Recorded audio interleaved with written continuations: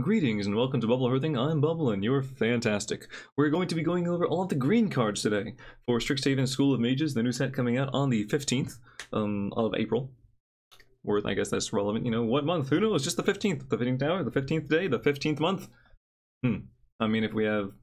I wonder if we spent more time like ancient Greece and stuff and Rome was like a bigger thing if we'd have more months.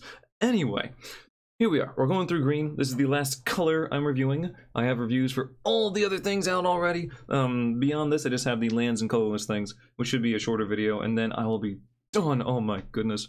And and then I'll probably not play Magic for the next couple days, and then when it comes out, I'll actually, you know, play some stuff. Okay, so let's get into it. Accomplished Alchemist, a 4 mana 2-5. Uh, elf, druid, archer. No, just just elf, druid, but archers, you know, implied. Uh, anyway, you can tap add one mana of any color, Okay, sure. And you can tap at X mana of any one color, where X is the amount of life you gain this turn. That's a strange thing you can do. Um, I mean, elves might find a way to make this work, because elves, there's so many elves and so much support for elves, this probably has a home somewhere. But otherwise, it's just an expensive mana dork, really. I don't know how much life you're going to be gaining. Um, I guess there's some kind of combo where you can play things that give you a lot of life, like 2 mana gain 5 or whatever, or... Uh, and add value that way and ramp. Um, but I don't see it. I mean, if you have a bunch of life linkers, you can swing with them, then tap this, then play like a four or five, get like you know extra four, five, six, maybe seven mana. There's there's potential there, but I don't really see it. If it had lifelink, then no, because it would have to have lifelink and vigilance. That's a no. In standard, this is um not that good at all. And oh, does that say magic in the back there? Look at that, there's an M. Oh my goodness, I was covering it up this whole time. Magic. This is a little armrest. Anyway, um, in case that needed clarification. Uh, but yeah, in limited, this is also like way too slow. Four mana, two five. Essentially, yeah, you ramp for one. It can color fix. It's not very good. Okay. Oh look at oh look at you! You're such a good boy. Oh my goodness, I'm angry boy, but still a good boy. They're they're all good boys. All right, Bayou Groff, a two mana five four plant dog. Oh, you're a plant dog. Oh, how lovely. All right, where's the drawback? Doesn't have to have drawback. It's green. At the initial cost to cast this spell, sacrifice a creature or pay three. So if you don't sack a creature, it's a five mana five four. Okay, it's a little you know under stats, but it doesn't pass the vanilla test as it would be for an X mana XX, or you know, but it's okay. And since green, there's a lot of tokens in this set just in general, um, and green in particular makes well green black likes to make pest tokens, which are one ones. When they die, you gain life. So hey, gain life, it works with this. Don't. Um, but those are some of the cheaper ones and easier to make. Um, you know, far as like mana value stuff goes and things, they're easier to make a few of those. So it's more likely that in those colors you'll have a few things laying around. Um, yeah. This card's really good. I mean, what's the ideal thing? One mana, make a pest token somehow, and then turn two, you you just play this and, and you go off and you have a good day. Um, yeah, you could even play the the red. Oh, geez, if your opponent. Okay, so the dream play Turn one, you play a mountain. Did you do what the hell you want the mountain? I don't know. Um, turn. Oh no, but it's a sorcery, isn't it? Oh, just got me right there. Because I was gonna say there's the red like active treason thing, but if you target a token, then it only costs one. But it's not. Oh, but you can't do it like that because then you still have to pay three mana. Whatever. Um, in standard, this card's not good. In standard, this is. I think it's too slow. I don't know about you, but I think like, whereas you can just do like, well, hold on, this is gonna be like the new Love Lovestruck Beast. You play Love Lovestruck Beast, turn one, make a 1 1. Turn two, play this. Turn three, play the 5 5 anyway. Um, change my mind. Standard, Lovestruck Beast is like a 5 out of 5, and standard is pretty damn good. Um, maybe 4.5. This is gonna be like a 2.5, maybe a 3.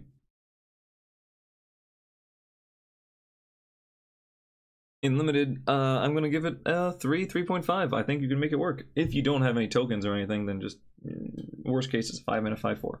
Okay, big play. Oh, big plays here. You thought that was a big play. Here's this big play. I don't know what it does. Uh, are you in your common? Oh wow, expect to see a few of these. Two mana, instant. Target creature gets plus two plus two and gains reach in the limited turn, and you put a plus one and you put a plus one plus one counter on it. So for two mana, for the turn, this thing is plus three plus three, and one of those kind of hangs around and it gains reach. So you're paying extra mana to give it reach and have one of those linger versus giant growth, which just costs one green, gives something plus three plus three. Uh, not as exciting when you look at it that way. It's alright. I could see playing like one of these, but I wouldn't count on this to win you the game at all. In standard, this card's useless, and in limited, this is like a 1.5 maybe. It's not actually that great a combat trick. I'm not huge on it, but if your opponent's playing green, they have two mana lingering, just be aware this card exists, and it could definitely blow up in your face, as big plays do. Eight mana Bookwurm. Here's a big guy. And got it the worms that the green is known for. All right, seven seven trample. When it enters the battlefield, you gain three life and draw a card. You can pay three and put this from your graveyard into your library, third from the top. Am I wrong in thinking that Unlimited this is like a four out of five? So, way back when, Pelakka Wurm was a card. When it entered you gained life, and when it died, you drew a card. This does both of those, although I think it gains you less life. And it's still huge, and it has like its own recursion to a degree. Third from the top is annoying, but at least when it enters, you get to draw a card, so it kind of takes away one of those turns that you may have wasted by putting it back in there. Uh, wow. Yeah, no, this is a this is an insane threat to have. This is like a 4.5, maybe even a 5 out of 5 in limited. Like, this thing is... And it gains life when it enters the battlefield, so it, like, helps you stabilize. This card is fantastic in limited. This is might even be, like, a first pick card. I don't care. Pack one, pick one? Maybe, maybe. In standard, this is too expensive to really help you do too much against, like, a mono-red thing. You do that, they already have six other creatures, and they just attack around you. Um, but it's nice. It's, it's cool to have. Um, just a nice little, little thing. Charge through. Uh, one minute instant speed. Target creature gains trample until a turn and draw a card. Interesting seeing this in green. Just you know, usually have these things in like red and blue for the little one mana uh, cantrippy sort of things. But yeah, I I love these cards. Never underestimate anything that costs one, and especially if it draws you a card. Oh my goodness, that's like super good actually. Um, in limited, this card isn't as good because you can't.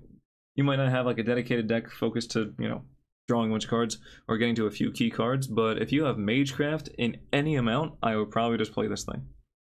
Your opponent's gonna probably chump block at some point, and you'll be able to basically just say, pay one mana, deal two damage, draw a card, deal three damage, draw a card. If Shock drew you a card, would see so much play. And stand in the standard, le standard, in that format, uh, yeah, yeah, you can play this in like Simic or Quandrix if you want to be weird about it. Um, yeah, absolutely. This card's fantastic. I, I, this, this, card's fantastic in, in the same way that like Rally the Ranks or whatever, the, the one mana give all the things first strike or trample in red and draw a card was damn good in the deck that it went in. This card is damn good in whatever deck it goes in. We have a lesson that might not be that, that damn good. Containment Breach. We, did we go over Learn yet? I don't think so. So, three mana sorcery lesson. What's a lesson? We'll tell you in a second. Destroy target artifact or enchantment. If its mana value is two or less, create a 1-1 black and green pest creature token with when this creature dies, you gain one life. So three mana to destroy a weak artifact or enchantment and make a thing. Not that great, but that's what the lessons are for. So, a lesson card is something you can put in your sideboard or outside the game. If you know, if you're playing casually, it's just wherever you have it. Here's a lesson. If you're playing anything other than casual, then it is in your sideboard. It's one of your 15 cards in your sideboard. Um, you can also put it in your main deck, but you probably shouldn't because they're not very good on their own. Then during the game, if you play a card that has the learn keyword on it, it gives you the option to either do nothing, and and then just whatever you learn, I guess. The true lesson was Egypt. Anyway, um, maybe the real Egypt was forgiveness. That's the actual quote, and I just I poorly memed that one. I apologies to any meme lords out there. Um, you know, sincerely. But let's see. So when it says learn, you can do nothing. You can discard a card to draw a card, or you can add a lesson card from outside the game to your hand. So this will be part of your lesson toolbox. There are multiple cards that say lesson on them. They're all sorceries. They're all a little overcosted for what they do. But the fact that you can just pick whichever one you want, like, okay, I'm going to do that. Not too shabby. Basically, everyone gets like a Fae of Wishes for some cards that are mediocre. it's okay. Literally, with all these things, you put them in your sideboard and you hope that you don't need them. That's it. That's it. If you have any learn cards. If you don't have any learn cards, don't put this in your main deck. There's no reason to. Um, Devouring Tendrils. 2 mana, sorcery. Target creature you control deals damage equal to its power to target creature or planeswalker you don't control. When the permanent you can when the permanent you don't control dies this turn, you gain 2 life. That's weird wording, kind of. So yeah. It's nice. I think this is one of the few things that can target a planeswalker though. So let's see. You have to have a decent sized creature on the board. It doesn't take damage in return, so that's nice. It's not actually a fight effect, it's a punch effect basically. It's just I'm just gonna punch you, and what are you gonna do about it? I'm gonna die. Cool. Your tears will sustain me. Um Yeah, this is actually kind of neat. In limited, this is fine because your creature doesn't take any damage from it, and you can even use it to get rid of planeswalkers. Yeah, absolutely fine. Nothing wrong with that. In standard, the fact that it's not an instant speed thing, and the fact that it also competes with Primal Might pretty it doesn't really look good compared to that is um, a reason why it's going to see zero play. But unlimited, yeah, yeah, this isn't actually bad. Dragonsguard Elite. Oh, I like the design here, the little sharp, pointy things, you know. Uh, is that a pine cone? Or are you just happy to see me? Right.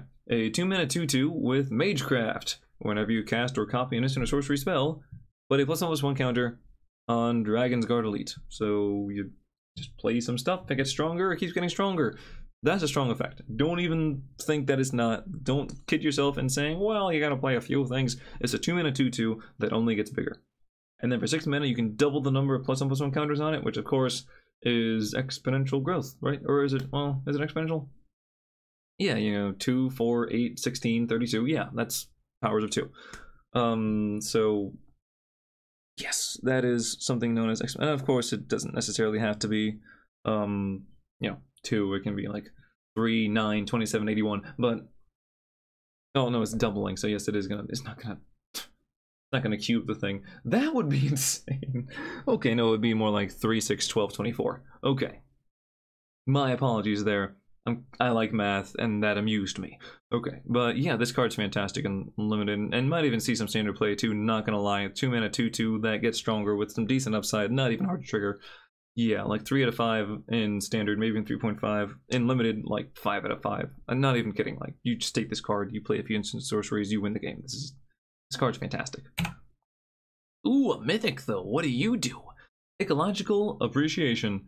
X, 2 and a green.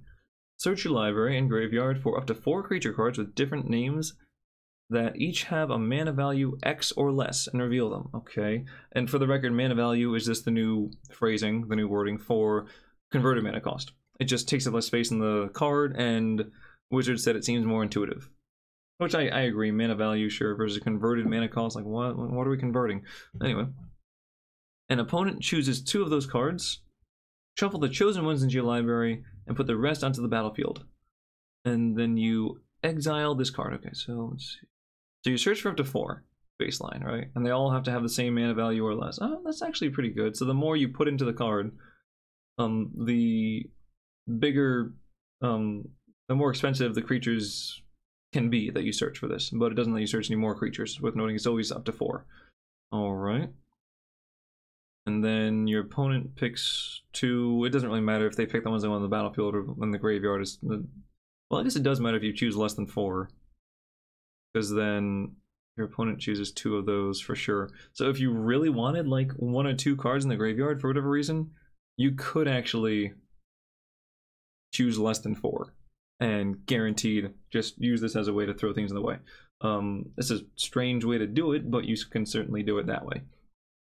It's certainly an option. Foolish Burial is a card.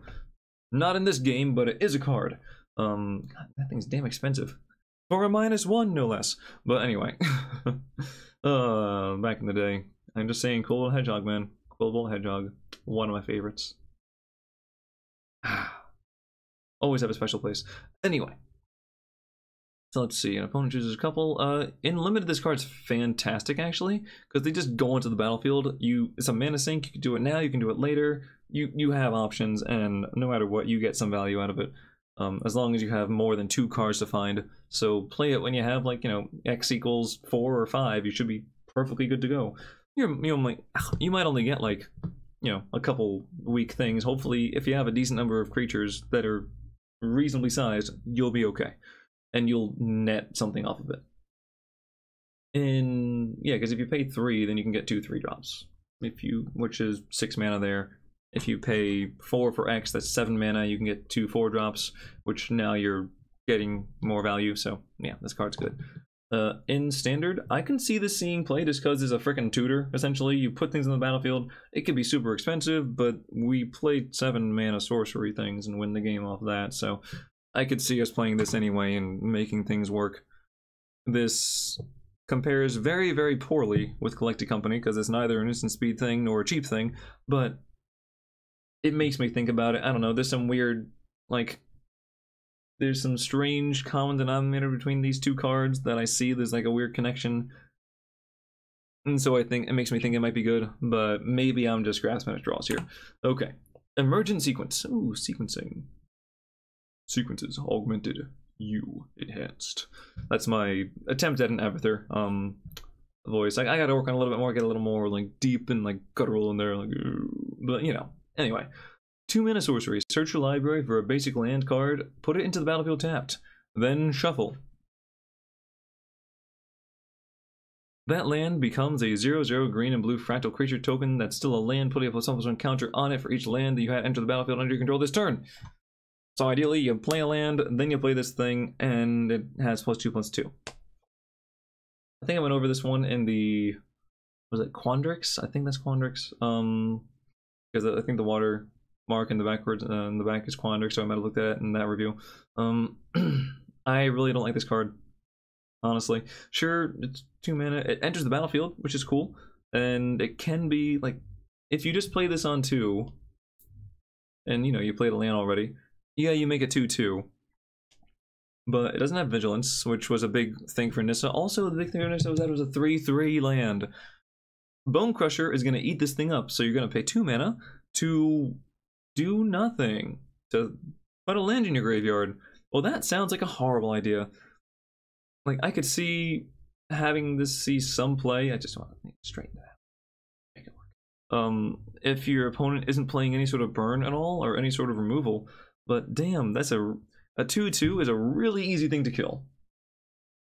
And yeah, but what if I play multiple lands every turn and then I can have it be a 3-3 or a 4-4? Okay, sure, you can pretend like this is gonna happen, even though it's not gonna happen. Um, yeah, this card, I just don't like it. I don't like it. It's like 1 out of 5 in standard, and I'm gonna even say like in limited, makes your land really vulnerable, doesn't really do too much for you. 1.5 out of 5, but like, you're also spending 2 mana to make like a 2-2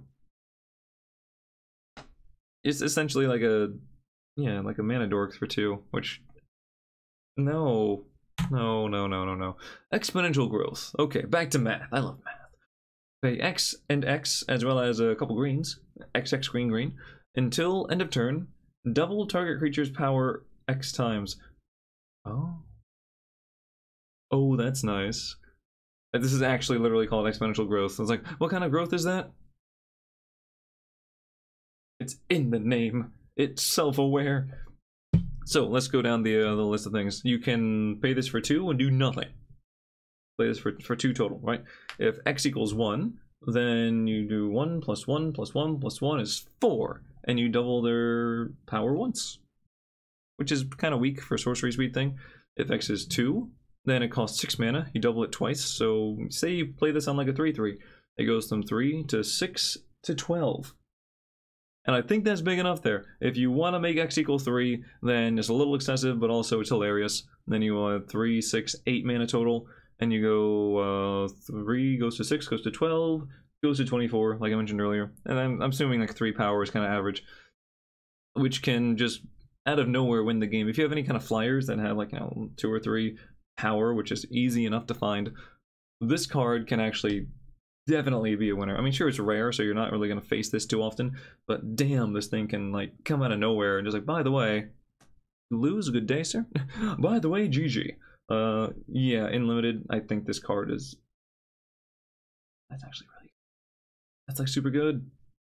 It's, like, so good. Okay, in limited, uh, I'm just going to say 4 out of 5. yeah, you need a creature with like something, some kind of power. And sure, it can just get chump blocked, like, oh, well, I played my thing. It's a one for one, I guess.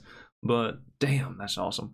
In standard, don't know how many times, like, you don't want to put this on something with trample, of course, or something unblockable. And it's a hilarious card, don't get me wrong, but I don't think it's all that powerful in standard, like, because just little, I'm gonna kill it. I'm gonna kill it. Doesn't actually buff the toughness at all, so I'm just gonna kill it.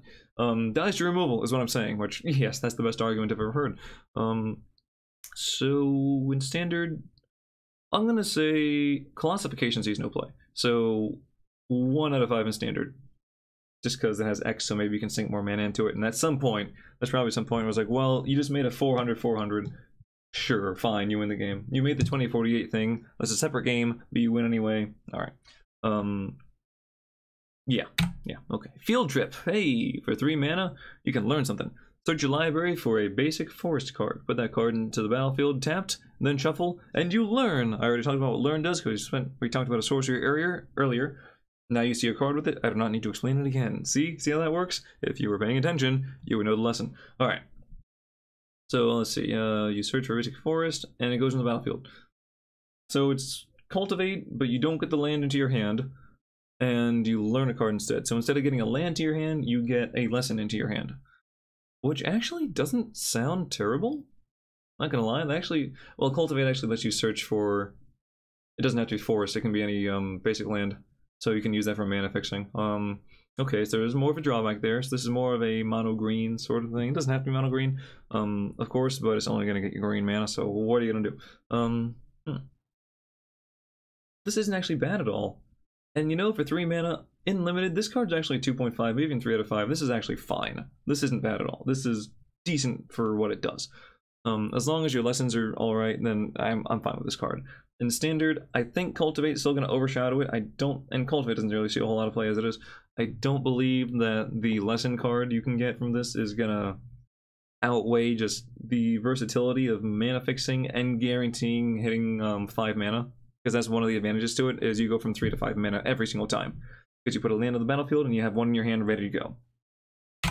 Okay, fortifying drought, drought, drought, drought. It's drought because it's like a beverage. Because drought is the opposite of a beverage. It is lack of beverage. Where's my beverage? That's what they all used to say back in the olden days. Oh, we're facing a massive beverage depletion. What do you know, Joe? My beverage is gone. Okay. Uh, one mana instant. Always pay attention to things that cost one and zero, but you know, one's more likely. You gain two life. Well, that was fun. Uh, target creature gets plus X plus X until end of turn, or X is the amount of life you gain this turn. So, baseline, gain two life, get something plus two plus two. That's actually okay. I'm actually super okay with this. There is a little bit of life gain synergy in the in the, this set, not too much. You can definitely play this in like Selesnya if you have some clerics or angels or whatever, and suddenly you gain two life. Cool. Activate some triggers because there are life gain triggers and things, and then you buff like plus six, plus six or whatever. There are a few with lifelink, which doesn't really help. You know, if you're gonna try to do this, you know, pre damage, but damn, like this is not a joke. Um, yeah, in limited, it's not a huge card, but it's very good for the value. So I'll say like 3 out of 5 there, maybe in 3.5. I have no issues playing this card in multiples even, it'll make it stronger. And in standard, I would be surprised if this didn't see play. So for that reason, I'm going to try to... I, I knocked my d20 over and I want to try to find the, the 20 side again because, you know, I want all the luck I can get. Um, in standard, yeah, this is not bad. It's very aggressive and it can kind of get there. I'm going to say 3.5. I wouldn't be surprised if this all play, but at the same time, I don't think it's going to necessarily be in a tier 1 deck because the life gain decks already do what they do pretty well. I don't really know if they need this because they're also like mono white or like black and white because there's like, you know, angels and clerics in both colors. But throwing green into the mix might just not be worth it, even though this card's pretty cool. Gnarled professor, you're a teacher. Look at that. You're not even. Oh, well, that makes you much less of like a nightmare fuel imposing giant green behemoth that's going to destroy me at a moment's whim. My God, you're like weird Cthulhu meets Leaf Man meets like maybe Bob Ross, but not exactly Bob Ross. You just seem kind of chill because you have the beard, but like, oh my God, we're all gonna die. Okay. This is the professor that just fails everybody. No. So for four mana, you get a five four with trample, and when it enters the battlefield, learn.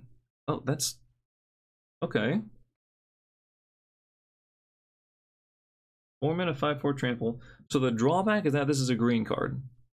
That's it. Because like it says learn, which means they probably put an extra mana into the cost somewhere because you know you don't get learn for free. There's always a drawback to that. Um, so I guess otherwise it'd be a three mana five four trample. It just in my head I'm thinking, uh wow. Five out of five unlimited. This card is great. This card's just good. Who knew like Cthulhu Ross would be good? I don't even know if he teaches art class. I hope so. Um and in Jeez. In uh in standard, wow, this card's got me like at a loss for words. This flavor text is literally only four words. I can't even go in depth on that one. Um, wow, in standard, I think this might be like a 4.5, even like 5 out of 5 kind of thing. It's kind of slow because we have like 3 mana 5 5s, but like this is this is good. The only downside, like I said before, is that it's green. Like how much play does Steel Leaf Champion see? It was a 3 mana 5 4, or was it 3 mana 4 3? I think it was a 5 4. I don't know. Uh, Nullhide Ferox was a 4 mana 6 6 that didn't really see a whole lot of play there. But it was still kind of cool. Um, damn, with Hexproof, no less. Uh, wow. Okay. This card's like insane. Okay. Wow. Really good. So therefore it's going to see zero play. Because I'm thinking like, well, what do you think about the, the troll, feasting troll king that I thought was going to be amazing and it's basically Hogak and standard and it did nothing. It was super slow. Yeah, that got nowhere. So maybe this gets nowhere too. Maybe this is in the same boat. But 7 mana versus 5 mana versus 4 mana is a huge gap. No, this card's still good. Honor Troll. What type are you? Treefolk Druid. Yeah, yeah, I'm I'm definitely seeing Treefolk Druid. No, I'm not. What the Treefolk Nightmare maybe? Alright. Um, three mana, two three with vigilance. If you would gain life, you gain that much plus one instead. Hey, look at that, a little more life, because why not? Honor Troll gets plus two plus one as long as you have 25 or more life. If you had lifelink, I'd say you're okay, but you don't have lifelink, so I say you're bad. Um, literally one out of five limited and like zero out of five standard. Yeah, yeah. We went from awesome to just like, what are you doing? Where are you going? Why are you going there? We don't know. If you have 25 or more life, you have a 4-4. I don't even know if you would play this in Commander, where you start at 40 life. like, yeah, 3 mana 4-4 Vigilance. Eh. Maybe. Uh, saying that a card isn't even a commander card? No, that's bad. Alright, Karok Wrangler. A 5 mana 3-3 with Magecraft. Whenever you cast or copy an instant or sorcery spell, put a plus one counter on target creature you control. So it's expensive, for what it does. And we saw this ability on like the 2-2 earlier, which was super good, except the 2-2 only buffed itself, whereas this can buff any creature you like. So there's value to that. There's a lot of value to that, but it comes out late and you have to have the follow-up, like play this turn 5, the next turn you play like maybe 2 or 3 instant sorceries. You want to trigger that thing as fast as you can, otherwise you're pretty far behind on value. Um, standard is useless. There are, you know, just play the weaker ones and buff them up as you go um, or the cheaper ones, I should say. And in limited, okay, um, because it's so slow and you might just be so far behind, I'm gonna say 2.5 out of 5. Better than a bear, but not by much. Leyline Invocation. For a second I was like, oh, there's ley lines here? Oh my goodness. Alright, but not quite. We're just invoking them. A 6 mana sorcery. Create a 0 0 uh, green and blue fractal creature token put X plus one counters on it, where X is the number of lands you control. So, at the very least, it should be around a 6-6, which is okay. You can have it be a little more, and 7-7, 8-8 if you have a lot of land. Not really all that impressive. And limited, this is fine, because, you know, again, baseline kind of 6 mana, 6-6, unless you have some mana ramp, in which case it makes it weaker. But you can try to rush out like a 4-4, potentially, and meh, it's not really all that exciting. Um, it's nice that I guess you have something that has a bunch of plus and counters on it, and you put a fractal on the board. That could be something. Also, it's a sorcery, so you trigger Magecraft while putting a creature on the board. There's a thing you can do. Uh, and limited, this, this card's like okay. I don't know, two out of five. I'm not, not eh, two point five because at least it makes a big creature. And in standard, this card is useless. Mage duel. I challenge you to a duel, uh, and I throw a snake on the field. How did you do that? Oh my god, why? And then I, and then he speaks to the snake. Sorry, spoiler alert. Anyway. Hmm. Ah, I gotta love that void juice. Okay. For three mana, you get a sorcery, but it costs two less to cast if you've cast another instant or sorcery spell this turn. So it could just be one. Target creature you control gets plus one plus two until end of turn. And then it fights target creature you don't control. Worth noting, this is a fight, not just i am gonna punch you. This is we're gonna punch each other. Um, so if you cast anything before that, instant or sorcery, this just costs one. It gets a small buff, whereas you can just play the. What's that? I want to say giant growth. I've named the thing before. Oh, the one primal might. I think it is. The thing. It's got a dinosaur on the front. It costs X and green for things to fight each other, and X. It gets uh your creature gets buffed with the X cost. So that largely, largely overshadows this card. In limited, this is okay, but to get the discount, you have to spend mana doing something else, which isn't all that good. So Honestly, in limited, like one out of five. In standard, zero. It's not not. Ooh, but it can cost one. Yeah, but at the cost of spending mana somewhere else. No, and at, at three mana, it's a, not a very good effect. All right, Master Symmetrist, a four mana four four with reach. Whenever a creature you control with power equal to its toughness attacks. Look at that! It did it. It gains trample until end of turn. Uh, let's see. I like how it comes like one after another here, and uh. Tondo lost his very first duel and has spent his entire life trying to get even. So, did he.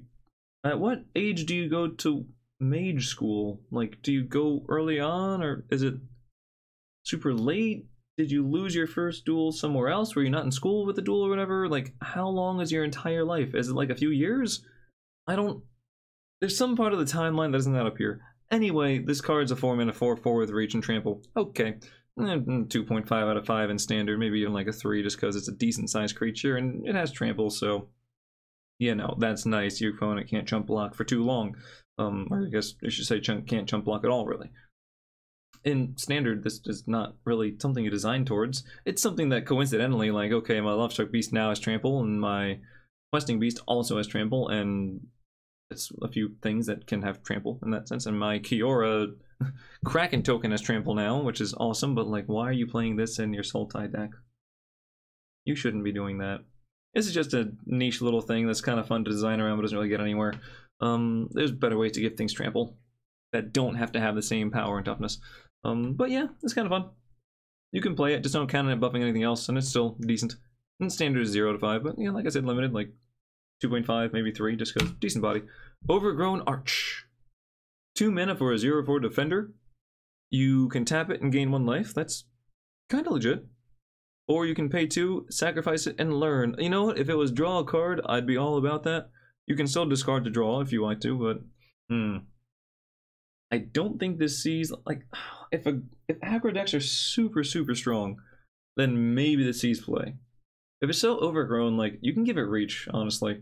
Um, I wouldn't be upset if it was like vines and canopies and it has reach now because it's just going like through the treetops even, but it doesn't have reach. Um, so literally for that one exclusion, because there are a decent number of things that with flying in standard, I'm gonna say like one out of five in standard. Even though it's nice, I play a two two thing that's gonna block and gain me life a few turns. Okay, uh, how many of those are you gonna play? Actually, they do well in numbers, but you still need to have something that kills, like you know, takes care of the threat. Um, in limited, don't be tricked into taking this card. I would rather play anything else that really does something to the board instead of playing this thing. If you have this with like the Phoenix where you can learn and instead put the Phoenix under the board, maybe there's that synergy. Otherwise, Professor of Zoomancy. Zoomancy. Zoomancy. Okay, the Professor. 4 mana, 4 3. When it enters the battlefield, you make a pass token. That's it. Standard is useless. Limited, it's like 2 out of 5. It's okay. Just because that's 4 power. And the pass token can be relevant. There's life gain stuff. There's token stuff. There's sacrifice stuff. It's nothing too flashy, though. If you need it, you'll know. Right. Reckless Amplimancer. Hmm. Well, I like that word. Alright, 2 mana, 2 2. You can pay 5 and double their power and toughness until end of turn. Just this one you can only have this thing's power and toughness get doubled. So you can pay 5 mana and give it plus 2 plus 2. Feels bad. But if you pay 10 mana then it gets mm, plus six plus six essentially. Uh, I guess the value comes in if you have any sort of other counters or buffs on it where it can get more than just plus two plus two. Linear growth. What am I, a first year? Ah, clever. Um, but that's a lot of mana. Like, I know you want mana sinks unlimited because you are probably going to run into the case where it's somewhat of a stalled, stalled board state or you have a lot of land and you just are top decking and you want something to put all that mana into. But this is like, really, dude? Really? Really? Ah, boring. All right, and standard is, is bad, even though you can have like you know, there's of course there's always going to be some kind of weird infinite mana combo you can pull off in standard, historic, or whatever in some format, and yeah, you can potentially make this infinite, infinite, but you can already do that any number of ways if you have infinite mana. So not exciting. Ah, Scurrid Colony. That's a scurrid. It's a squirrel. Look at you. You look positively devilish. Two mana, two two with reach. It gets plus two plus two as long as you control eight or more lands. This is like better value than this. This can just always be a 4-4 if you have 8 or more lands. This thing, you have to put 5 mana into it to make it a 4-4. And it has reach. Come on. Limited 2.5 out of 5. I don't know how often you're going to have 8 or more lands, but it's okay. And when you play a 4-4, alright. It's not necessarily going to, you know, win you the game there, but it's kind of cool to have. And the reach is nice because you know there are flyers in the set. There's flyers in every set, Jim. Damn. Um, standard is useless, but it's cool to see. See, spined Karok. Oh, look, it just has flavored text. There's actually it's a vanilla card. Woo, three mana, two four. Um, don't be convinced that this is good because well, six stats, yeah, but it's statted fairly poorly. If it was a three mana zero six, like, would you play it? Probably not. If it was a 3 mana 5-1, would you play it? Probably not. It's just going to die every time. So this is not, again, a good distribution. Um, so it's like a 2 out of 5. In limited, uh, standard is useless, but maybe 2, maybe like 1.5 out of 5. You don't, don't, no, no, no, no, no. But we'll say this. The bogs are deeper than you realize. Most of the space beneath the surface is taking up is taken up. Sorry. Oh, I was working on it. Ugh, okay, I gotta try from audition one more time. Most of the space beneath the surface is taken up by these enormous Karoks. You might think your feet are touching the bottom. They're probably not. Alrighty, what else do we have here? Springmane Cervin. Cervin? Makes me think Serval, but this is not exactly a Serval. Okay, sure, you're a Cervin. Good to know. Uh, 3 mana, 3 2. Enters the battlefield to gain 2 life. Alright, not that exciting It's a 1.5, maybe 2. Point, maybe 2 out of 5 if you have any sort of life gain synergy. Otherwise, it's not. Oh, God, did I just freeze? I think I just froze. Hold on. Coming back. Okay, we're good. We're smooth again. So smooth. Ah, oh, yes, maximum smoothness. Okay. Um, unless you have any sort of life gain synergies, this is like a 1.5 out of 5. Otherwise, it can be like a 2, maybe 2.5 out of 5. And in standard, it's useless. Okay, there we go. Tangletrap. Uh, two minute instant speed. Choose one. Choose one. Either deal five damage to target creature with flying, or destroy an artifact.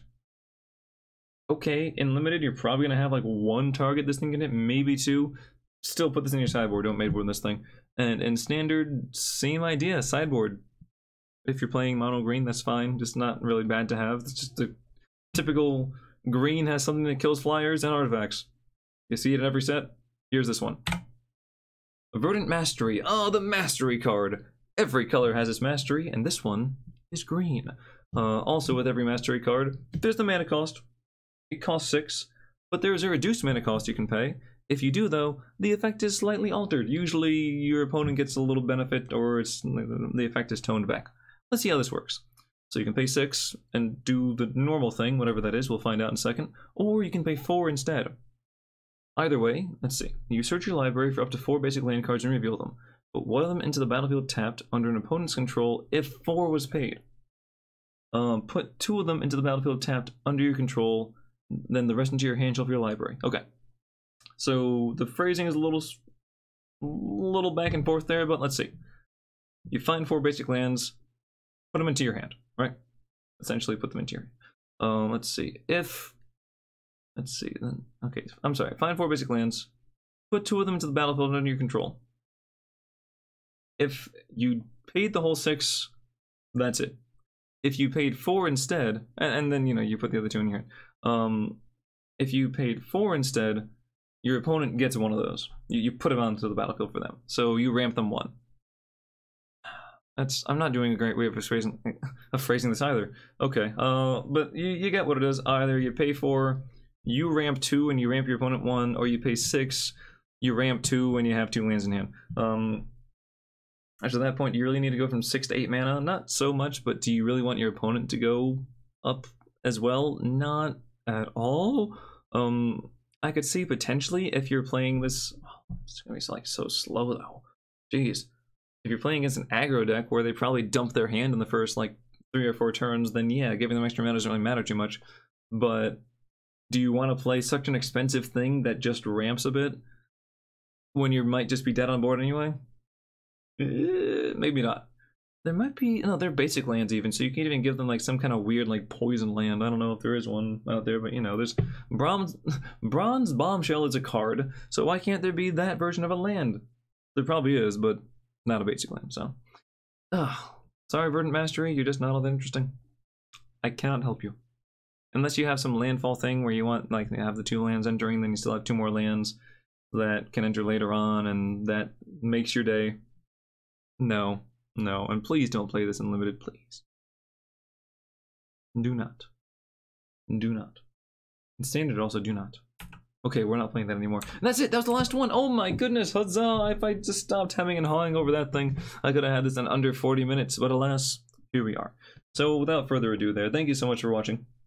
The only thing I have left to do are the lands and the colorless cards, and we'll be done. That should be like a shorter video. I'm aiming for under 30. We'll see if I get there. Probably not. Don't bet on it. Um, but uh, if you like what you saw, feel free to comment, like, subscribe, follow, other words that content creators use to encourage people to do things. Um, thank you for watching. Good night, good morning, depending on where you are in the world. But as always, good luck.